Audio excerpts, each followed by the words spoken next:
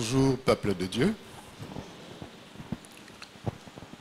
Je voudrais commencer d'abord par rendre grâce à l'Éternel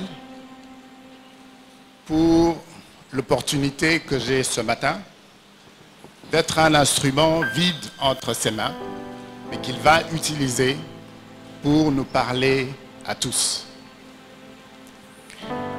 Je voudrais aussi saisir l'opportunité pour remercier notre pasteur, le pasteur Félix Ndiaye, qui m'a donné aussi cette opportunité de, de nous parler ce matin. Ce n'est pas à tout le monde qu'on peut accorder cette confiance-là. Et je lui suis très reconnaissant.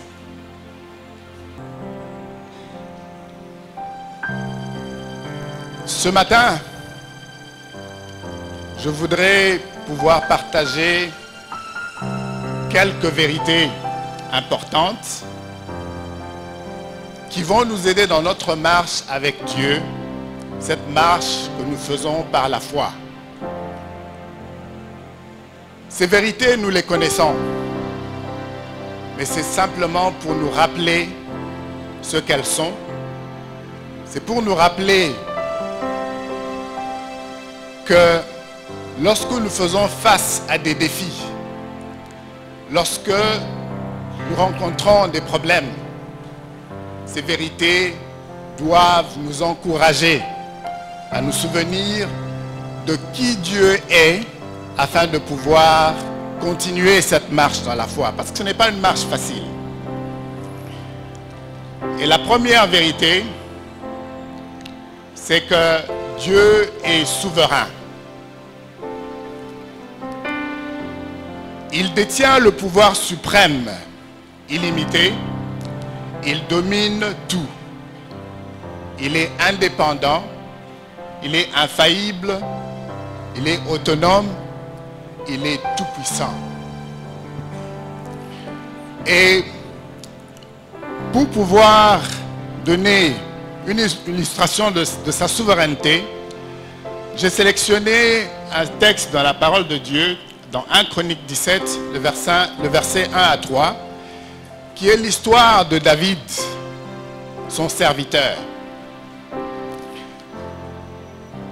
Dans cette histoire, dans 1 Chronique chapitre 17, David, serviteur de l'Éternel, est établi en tant que roi il prend une résolution, une très bonne résolution. Et il, veut construire un temple à l'Éternel.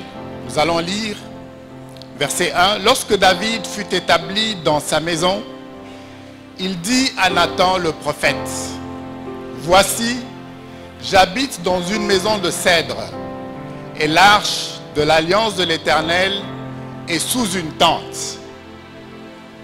Verset 2.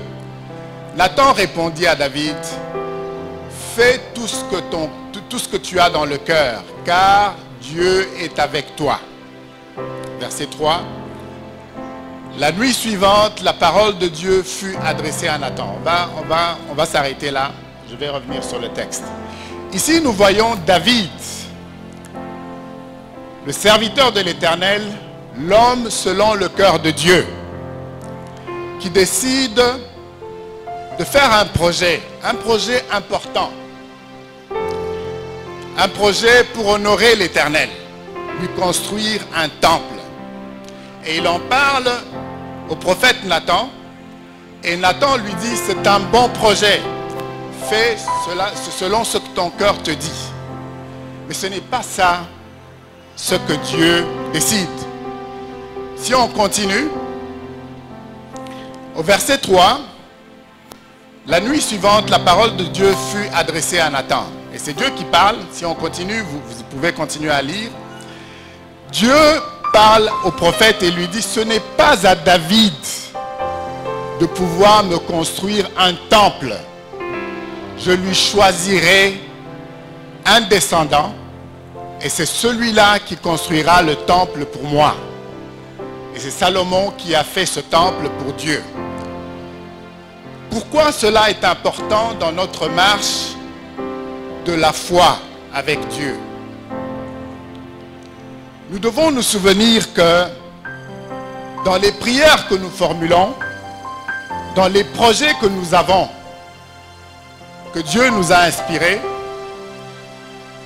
nous devons nous souvenir que c'est lui qui décide finalement de comment cela va se passer.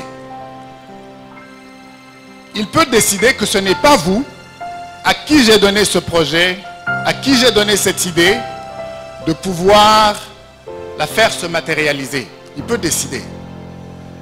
Et notre devoir, ce n'est pas de nous fâcher. Vous imaginez David, avec tout, l'enthousiasme qu'il avait de vouloir construire un temple pour l'Éternel. Et il reçoit ce feedback du prophète qui lui dit, non, Dieu a dit, après que le prophète lui ait dit, fais ce que ton cœur désire. C'est bon. Le lendemain, le prophète revient et lui dit, Dieu a dit, ce n'est pas toi, ce n'est pas à toi de me construire le temple. Il pouvait dire, il pouvait se fâcher, il pouvait être frustré. Mais quand vous continuez la lecture, vous allez vous rendre compte, avec humilité, David a accepté la décision de l'Éternel. Souvenons-nous dans notre marche, dans la foi, que Dieu est souverain. Il peut décider de ne pas honorer notre prière. Il peut décider. Et quand le diable veut nous rappeler que nous avons prié, nous n'avons pas reçu, souvenons-nous de lui dire, Dieu est souverain et je ne vais pas lâcher. La deuxième vérité importante, elle est celle-ci. Dieu est grand, il est inimaginable. Je ne pense pas que, en fait pour moi, ça c'est une réalité, je n'ai jamais réussi à cerner Dieu et je ne réussirai jamais. Dieu est grand, il est, il est inimaginable.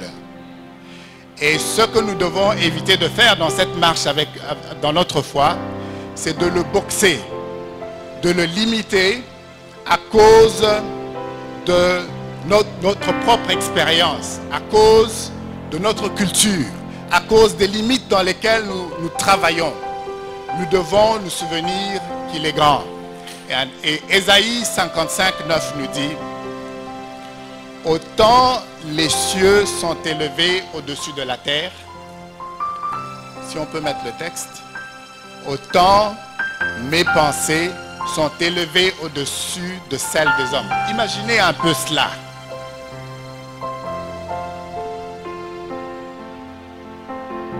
La terre est là, et les pensées de Dieu, en les comparant à celles des hommes, sont tellement élevées et cette comparaison entre la terre et le ciel, cette dimension-là, je pense qu'elle est incernable. Et nous devons nous souvenir de cela. Ces vérités sont importantes et elles sont entreconnectes. Nous devons nous souvenir que Dieu est grand, il est infaillible et ses pensées sont tellement élevés. Et cette comparaison, elle a fait avec la terre. J'ai fait une petite expérience personnelle. Une fois, je voyageais et j'étais dans un avion. Alors, nous étions en train de décoller et je regardais comment les choses étaient en train de changer. D'abord, aux alentours de moi, c'était l'aéroport. Puis, de l'aéroport, j'ai vu les environnements de l'aéroport. Les environnements de l'aéroport, j'ai commencé à voir beaucoup plus grand, beaucoup plus la ville. Et je me suis rappelé de cette parole qui me montre que ce que Dieu voit, c'est plus grand que ce que moi je vois. Sa perspective, elle est plus grande que ma perspective. Et je dois me souvenir de cela dans la marche que j'ai avec lui dans la foi. Il peut me demander des choses incroyables, mais je dois me souvenir que ce n'est pas par ma force, mais c'est par son esprit, c'est par sa capacité que je peux délivrer, que je peux voir ce qu'il m'a demandé de faire. Et ça, c'est important dans notre marche de foi avec l'Éternel.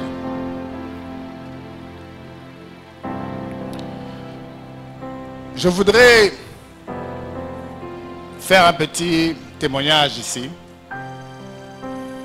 Parce que dans notre marche de la foi, il peut nous arriver que nous soyons même ceux qui découragent ceux qui veulent marcher dans cette foi-là. Mon épouse et moi, nous avons un fils, notre second dans la famille. Il a été même ici, je crois qu'il était avec la technique à un moment donné. Il s'appelle Emmanuel. Emmanuel a un problème d'asthme. Et quand il était tout petit, il a deux frères. Euh, et quand il était tout petit, tous les trois garçons voulaient commencer à jouer au rugby. Je crois que vous connaissez le, le sport de rugby. C'est un sport très très physique. Nous avons donné l'autorisation à ses deux frères de commencer à jouer. Mais pour Emmanuel, nous avons dit non, fils. Nous savons quelle est la meilleure chose pour toi. Ne joue pas au rugby parce que tu es déjà fragile. Tu as l'asthme, tu saignes du nez de temps en temps. Ce n'est pas bon pour toi. Et nous avons lutté avec cela. Et chaque fois, Emmanuel revenait, pourquoi vous ne me permettez pas? Donnez-moi l'occasion. Ses frères sont venus vers nous également et nous ont dit, papa, maman, pourquoi vous résistez? Donnez à Emmanuel l'occasion. Bon, nous avons discuté, nous nous sommes dit, ok, nous allons lui donner l'occasion. Et vous savez ce qui s'est passé? Nous avons donné l'occasion à Emmanuel de commencer à jouer. Et en très peu de temps, il est devenu le meilleur de la classe. En très peu de temps, on l'a coopté dans l'équipe de l'école. En très peu de temps, il y a des équipes de rugby en Afrique du Sud qui ont commencé à le rechercher. On lui a offert des bourses d'études et ça a été un témoignage si troublant pour nous. Et nous nous disions, mais nous vous étions en train de limiter cet enfant. faisons très attention de ne pas nous limiter et de ne pas limiter les autres dans cette marche de la foi avec Dieu. J'espère que le Saint-Esprit est en train de parler avec chacun de nous. Dieu a donné des projets. Il a donné des plans. Il a révélé des choses, des fois même difficiles. Mais soyons ceux qui encouragent ceux qui ont besoin de faire cette marche en faisant des choses grandioses. Parce que, au bout du compte, il ne s'agit pas de nous, il s'agit de Dieu dans son œuvre et qui travaille au travers de nous pour exécuter ses plans. Amen.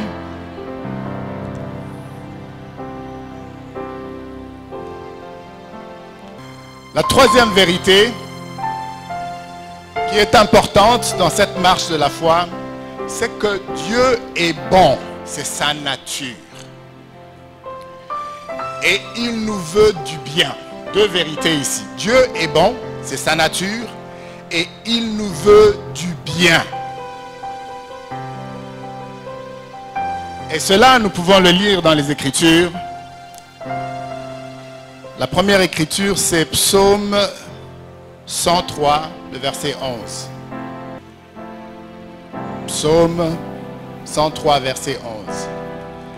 Mais autant les cieux sont élevés au-dessus de la terre, autant sa bonté est grande pour ceux qui le craignent. Est-ce que cela n'est-il pas rassurant? Vous imaginez, je crains l'éternel, tu crains l'éternel, mon frère, ma soeur. Et la bonté de l'éternel, elle est comparable à l'élévation que les cieux ont au-dessus de la terre. Mais c'est extraordinaire. C'est extraordinaire pour nous de pouvoir bénéficier de cette bonté de l'Éternel pour ceux qui le craignent. Et je pense que c'est une vérité importante dans notre marche de la foi. Parce que lorsque nous faisons face à l'adversité, lorsque nous faisons face aux difficultés, en nous souvenant que Dieu est bon, nous allons être encouragés. Nous allons être fortifiés.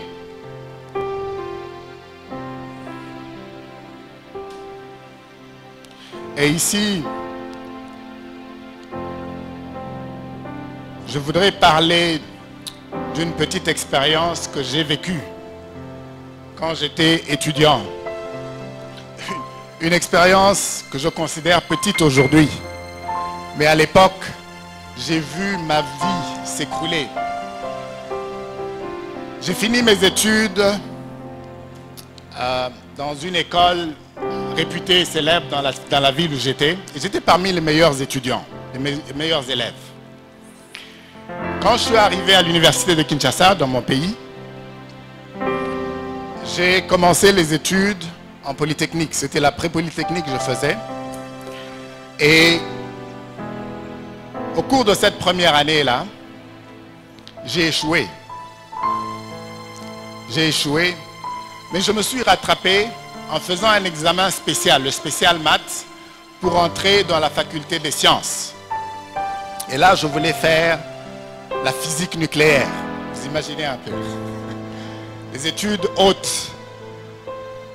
Et à l'époque, c'était parce qu'il y avait cette compétition entre les différents élèves Qu'est-ce que toi je vas faire? Je vais faire les mathématiques, je vais faire la physique. Et j'ai commencé. Mais quand on arrive à l'université, il y a aussi beaucoup d'influences qu'on subit. Il y a les amis qui sortent. Si on n'est pas solide, on se lance dans ce mouvement de sortie. Et c'est là que je me suis retrouvé. Et je travaillais très peu, et je réussissais quand même au test. Mais c'est la période des examens qui m'a prouvé que quand on dit la répétition est la mère des sciences, cela est vrai. Je n'avais pas eu le temps de répéter mes cours. Et qu'est-ce qui s'est passé? Je me retrouvais en train de lire tout un syllabus toute la nuit jusqu'au matin. Et je n'avais toujours pas terminé. Et je me retrouvais dans la salle d'examen, n'ayant pas dormi, et confus. Et vous savez quelle mention j'ai reçue à la fin? J'étais refusé. Vous imaginez ça? J'étais refusé et j'ai cru que tout le monde autour de moi était en train de s'écrouler. Ce qui est intéressant, c'est que mes amis, tous ceux qui me connaissaient, ils sont allés, ils ont été les messagers de cette, je ne sais pas si c'était une bonne nouvelle pour eux, mais ils étaient les messagers. Jean-Claude Moukadi, vous savez quelle est la mention qu'il a, a reçue? Il a été refusé à l'université. Je me suis retrouvé tout seul. J'ai commencé à me demander pourquoi, qu'est-ce que j'ai fait? J'avais ma responsabilité dans cela. Mais le Seigneur m'a fortifié. Et aujourd'hui, quand je regarde à ce passé-là, je pense que c'est pour quelqu'un au milieu de nous ce jour. Peut-être que ça ne marche pas dans les études. Peut-être que vous avez échoué. Vous pensez que le monde s'est complètement écroulé. Je voudrais vous apporter une bonne nouvelle. Dieu n'a pas encore fini avec vous. Et il n'avait pas fini avec moi. Il m'a ramené dans une autre faculté. J'ai fait les sciences économiques. J'ai terminé. Et aujourd'hui, je suis là. Avec des responsabilités régionales pour l'Afrique de l'Ouest. Ce n'est pas à cause de mon intelligence. Ce n'est pas à cause de mon savoir-faire. Mais c'est simplement à cause de la bonté de l'Éternel. Et si chacun de nous est dans ce monde aujourd'hui, Dieu a un but. Il a un plan pour lequel il n'y a que toi qu'il va utiliser pour accomplir ce plan-là. Alors disponibilisons-nous et souvenons-nous qu'il est bon et il nous veut du bien et il veut travailler avec nous. Il veut nous emmener dans son œuvre.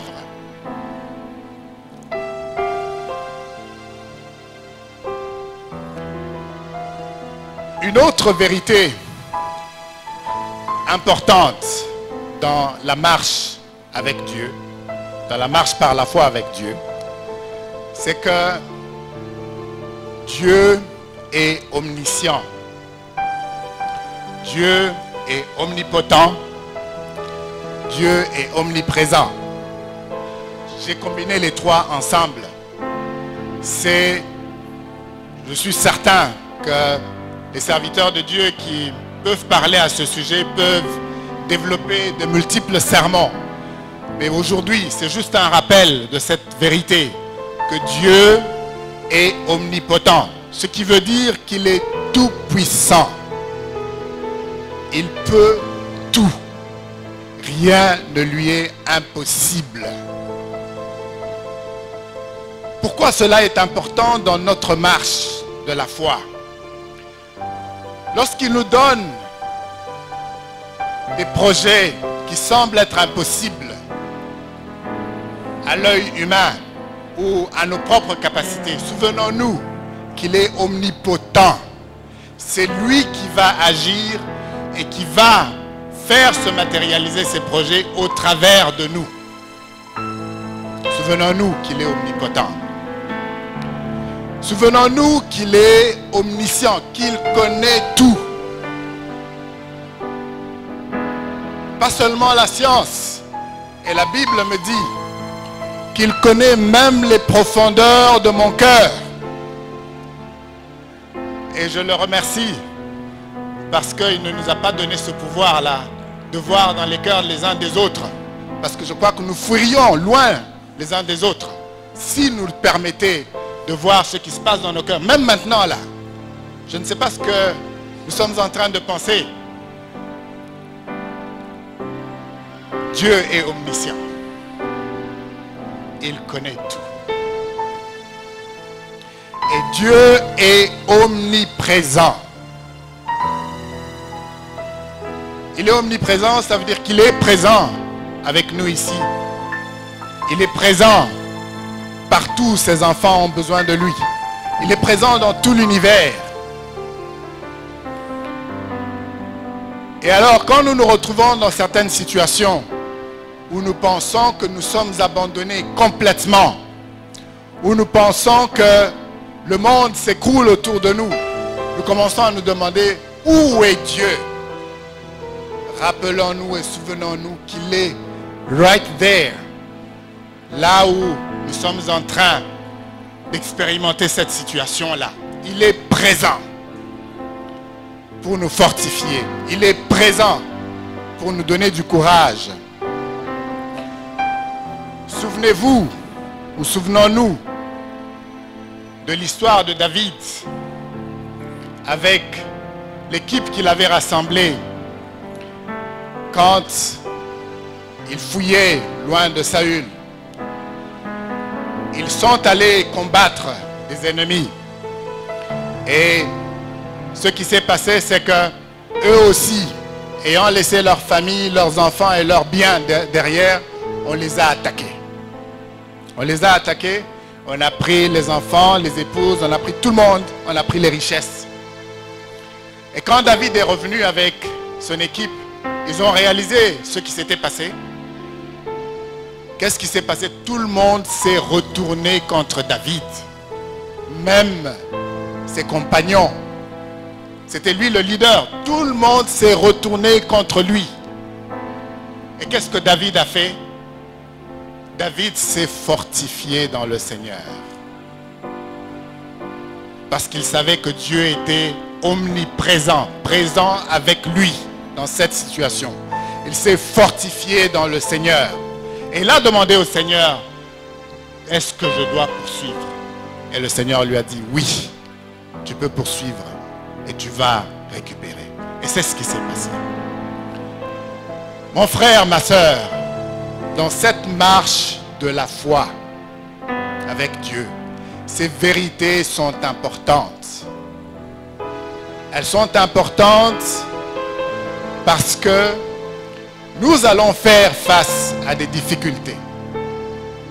Nous allons faire face à l'opposition. Nous allons faire face à des défis. Si Dieu nous demande de construire une église, ça c'est un, un, témoignage de ce défi-là. La question qui, revient la première, c'est où sont les ressources financières? Mais il pourvoit toujours. C'est pour ça que nous avons ce bâtiment aujourd'hui. Parce qu'il est omnipotent. Il peut tout. Et il peut pourvoir aux besoins qu'on expérimente. Je vais aller vers la dernière vérité. C'est une vérité qui, le jour où on m'en a parlé, j'étais un petit peu troublé. Et j'ai réalisé en effet que c'est une vérité très importante et très encourageante. Dieu nous fait confiance. Dieu me fait confiance. Dieu te fait confiance, mon frère, ma soeur. Et c'est un acte de foi de sa part aussi. Mais ce qui est différent entre toi et moi, c'est que en tant qu'humain, quand je fais confiance en quelqu'un, c'est parce qu'il m'a prouvé qu'il est digne de confiance. Mais Dieu, il connaît mes faiblesses. Il connaît tes faiblesses. Il connaît mes limitations. Mais malgré cela, malgré tout cela, il, me fait confiance. Regardez Jésus avec Judas. Il savait que Judas allait le trahir. Quand il le recrutait, il savait déjà que ce type va me trahir. Mais qu'est-ce qu'il a fait? Il lui a donné, il lui a fait confiance, il lui a donné les finances. Il lui a donné la gestion des finances, bien qu'il savait que Judas allait le trahir. Ce n'est pas un problème pour Dieu, mes imperfections. Il me fait confiance. Nous avons d'autres exemples dans la Bible qui peuvent nous encourager dans cette marche avec Dieu, de confiance dans la foi. Regardons à Moïse.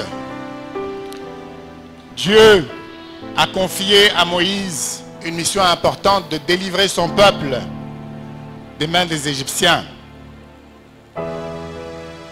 Moïse a dit, mais je ne sais même pas parler. Dieu même c'est un peu irrité parce que Moïse continue à faire des arguments. Il dit, mais ce n'est pas ton problème. C'est moi qui vais agir au travers de toi. Il a fait confiance à Moïse. Et après, il a dit, Moïse est mon serviteur fidèle. Je lui parle. Je lui apparais, je lui parle comme un ami. N'est-ce pas cela merveilleux? Et Dieu nous appelle à cette intimité, toi et moi aujourd'hui, dans, la marche de la foi. Quelle est l'intimité que j'ai avec lui De communiquer, de m'engager avec lui? Un autre personnage de la Bible dont Dieu a aussi parlé, c'était Job. Souvenez-vous de l'histoire de Job. Quand Satan et les enfants de Dieu se sont retrouvés devant Dieu pour parler de ce qu'ils avaient vu, et Satan a, Dieu a demandé à Satan, est-ce que tu as vu mon serviteur Job? Et nous disons cela dans la parole de Dieu. L'Éternel dit à Satan, as-tu remarqué mon serviteur Job? Il n'y a personne comme lui sur la terre. C'est un homme intègre et droit, craignant Dieu et se détournant du mal. Il demeure ferme dans son intégrité et tu m'excites à le perdre sans motif. Est-ce que Dieu, aujourd'hui, il peut dire de moi, il peut dire de toi mon frère, il peut dire de toi ma soeur, que tu es un serviteur fidèle, que tu es quelqu'un qui rayonne sa gloire, qui rayonne sa volonté. Est-ce que Dieu peut dire cela de toi aujourd'hui? Pose-toi la question dans ton cœur. Et si, la réponse est non, ce n'est pas tard. Il veut que tu viennes à lui. Il veut que nous venions à lui tel que nous sommes. Parce qu'il nous fait confiance. Et la dernière personne que je vais mentionner toujours par rapport à la confiance de l'Éternel, c'est la Vierge Marie. Quel projet elle a eu à exécuter, vous imaginez un peu. Je ne sais pas, quand nous lisons la parole de Dieu, nous avons l'impression que nous lisons des histoires. Mais quand nous nous mettons, nous réfléchissons par rapport à la réalité de ce que ces personnes-là ont subi, ont, ont expérimenté, c'est là que nous nous rendons compte de la complexité de l'éternel. Ici, nous lisons Matthieu chapitre 1, verset 18. Vous pouvez lire tout le chapitre.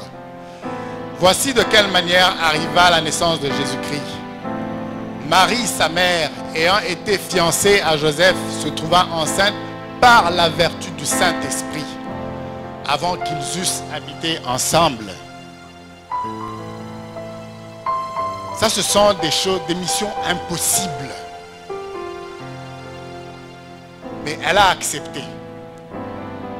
Elle a embrassé cette mission-là. Et aujourd'hui, à cause de son obéissance, Aujourd'hui, nous sommes sauvés. Jésus est venu dans ce monde. Mon frère, ma soeur, quelle est cette mission impossible que Dieu te demande de faire et pour laquelle tu résistes ou tu te dis, je suis limité Quelle est cette mission impossible que Dieu te demande aujourd'hui Qui demande simplement la foi même une fois comme un grain de sénévé, pour que Dieu accomplisse ce qu'il veut dans ta vie?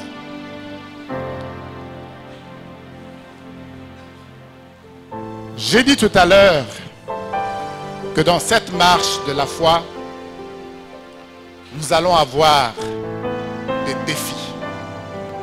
Nous allons avoir des difficultés. Nous allons avoir le rejet, nous allons expérimenter le rejet des hommes. Nous allons même expérimenter la risée, même de ceux qui nous, sont proches, des membres de famille, des amis. Ça va arriver. Mais comment est-ce que nous allons être fortifiés? Si en nous souvenant de toutes ces vérités dont je viens de parler La première, Dieu est souverain. Il est souverain. Et moi, sachant qu'il est souverain, si il n'a pas honoré quelque chose, je ne vais pas lâcher. La deuxième des vérités, Dieu est grand. Je ne peux pas le cerner. Même toi qui me critiques aujourd'hui, toi qui me décourages, est-ce que tu sais cerner la grandeur de l'éternel? Si tu ne sais pas la cerner, mais pourquoi alors tu me décourages? Et je dois me souvenir de cela et me fortifier. Parce que Dieu est grand. Même moi-même, je ne peux pas le comprendre. Personne, même les apôtres, même Paul, personne n'a compris la grandeur de Dieu. C'est quand Jésus reviendra que nous comprendrons peut-être à ce moment-là cette grandeur de l'éternel. Je dois me souvenir de cela. Et la troisième vérité, Dieu est bon. Il est bon, c'est ça sa nature. Il me veut du bien toujours. Jérémie 29, 11 nous rappelle cela. Dieu dit, Mes projets pour toi ne sont pas des projets de malheur, sont des projets de bonheur. Souvenons-nous de cela dans notre marche avec l'Éternel. Et la quatrième vérité, il est omniscient. Il connaît tout, même les troubles que j'ai dans mon cœur. Il est omnipotent. Il peut tout. Il est le Tout-Puissant. Il est omniprésent. Il ne m'abandonne jamais. Il est toujours là dans toutes les situations que j'expérimente, les joies, les peines. Dieu est là pour me fortifier. Et la dernière vérité, malgré mes faiblesses, Dieu me fait confiance. Oh, quel privilège de savoir que le Tout-Puissant me fait confiance. Même tous ceux qui sont autour de moi, même s'ils ne le font pas, mais le Tout-Puissant me fait confiance. Voilà les quelques vérités que le Seigneur m'a mis à cœur pour partager ce matin avec chacun de nous. Et le cantique la chorale a chanté tout à l'heure, elle nous a aussi rappelé que c'est le Dieu des miracles. Elle nous a rappelé, il nous a rappelé que c'est le Dieu des impossibilités. Il nous a rappelé que c'est le Dieu qui honore ses promesses. Ses promesses sont oui et amen.